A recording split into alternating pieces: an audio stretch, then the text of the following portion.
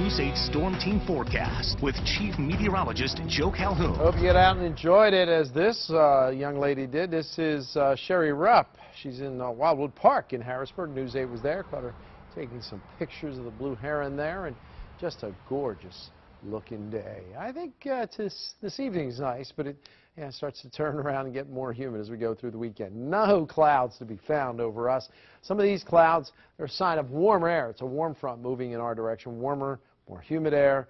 And we may see some more of those clouds as we go into tomorrow. But this evening, we are looking good. Look at the numbers.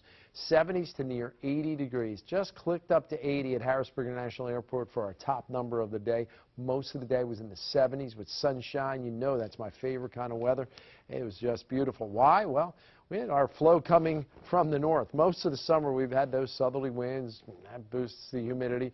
Hasn't been very hot, but it has certainly been on the humid side. And we got a break from both the warmth and the humidity today. Nothing on the radar. We are dry all across the region. Temperatures 70s to right near 80 degrees, 77 in Gettysburg, 78 degrees in Selinsgrove. Look at Coatesville, only at 75 degrees. What a beautiful picture. Look at that. Nothing but blue skies over the Lebanon Valley. Lebanon Skycam is showing a nice, nice looking evening out there. 78 degrees right now. Dew point at 59. 50s feel fine. That's all you have to remember about the dew point. When it's 50s or below, it's not going to feel very humid. Gets in the 60s, which we will be tomorrow. That's when it starts getting sticky. Could be back in the mid 70s over the weekend. I think it's going to be a very sultry weekend.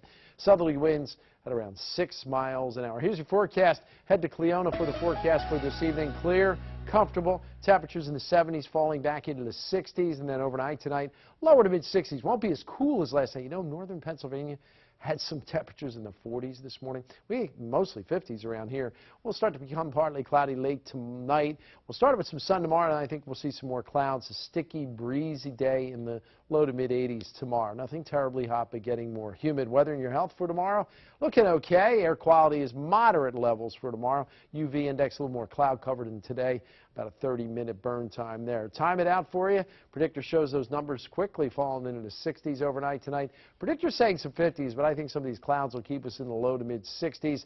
And then again, some more clouds around tomorrow. Some showers off to the west. I think they'll come in as we go into probably tomorrow night, and maybe a few more around on Saturday. Doesn't look like a washout Saturday. I think the theme of the weekend is oppressive humidity, and boy, is it going to be just feeling muggy out there. Better chance of some showers and storms as we get into Monday. May get a break again from the humidity by about Tuesday.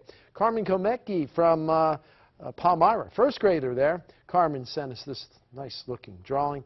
It looks like a real summer-like picture there. Thank you,